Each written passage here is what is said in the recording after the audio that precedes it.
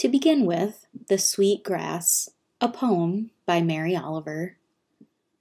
Will the hungry ox stand in the field and not eat of the sweet grass? Will the owl bite off its own wings?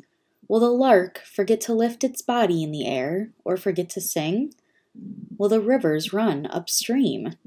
Behold, I say, behold the reliability and the finery and the teachings of this gritty earth gift. Eat bread and understand comfort. Drink water and understand delight. Visit the garden where the scarlet trumpets are opening their bodies for the hummingbirds, who are drinking the sweetness, who are thrillingly gluttonous. For one thing leads to another. Soon you will notice how stones shine underfoot. Eventually, tides will be the only calendar you believe in. And someone's face, whom you love, will be as a star, both intimate and ultimate, and you will be both heart shaken and respectful. And you will hear the air itself, like a beloved, whisper, Oh, let me, for a while longer, enter the two beautiful bodies of your lungs. The witchery of living is my whole conversation with you, my darlings. All I can tell you is what I know. Look and look again.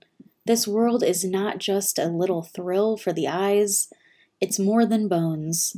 It's more than the delicate wrist with its personal pulse. It's more than the beating of a single heart. It's praising. It's giving until the giving feels like receiving. You have a life. Just imagine that. You have this day and maybe another, and maybe still another. Some day I am going to ask my friend Paulus, the dancer, the potter, to make me a begging bowl, which I believe my soul needs.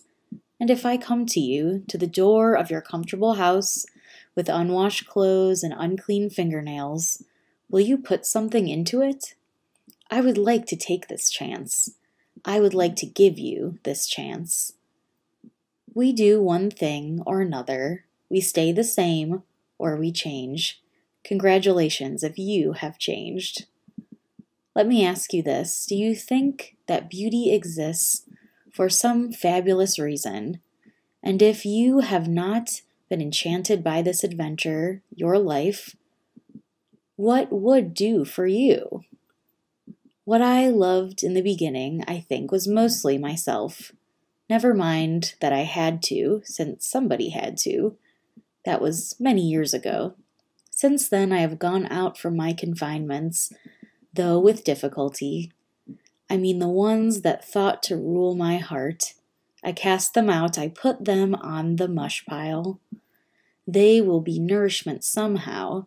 Everything is nourishment somehow or another. And I have become the child of the clouds and of hope. I have become the friend of the enemy, whoever that is. I have become older, and cherishing what I have learned, I have become younger. And what do I risk to tell you this, which is all I know? Love yourself, then forget it, then love the world.